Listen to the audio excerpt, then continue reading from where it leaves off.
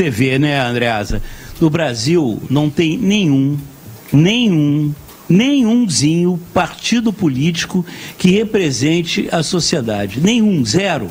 Hoje o eleitor brasileiro, ele não tem em quem votar, não tem em nenhum partido que você possa minimamente dizer que você é, é, é, tem alguma afinidade política, que você tem alguma que, que, que dirá afinidade ideológica ou programática. Quer dizer, nós vamos caminhando para 2018 com essas quadrilhas, com esses bandos, com essas facções dominando a nossa política, tendo que quase que obrigatoriamente a, a, a escolher entre a capangagem que pertence a essas facções, que hoje chamam de partidos, né? digo todos, porque eu, eu desafio aqui alguém dizer se existe algum partido político confiável no Brasil, talvez até o PPS, talvez o PPS talvez o PPS, mas é um partido pequeno.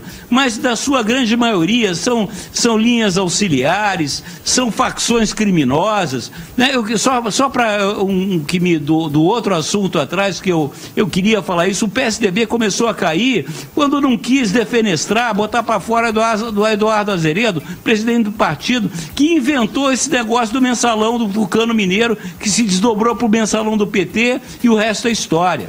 Aí que o PSDB já começou a, a, a derrapar.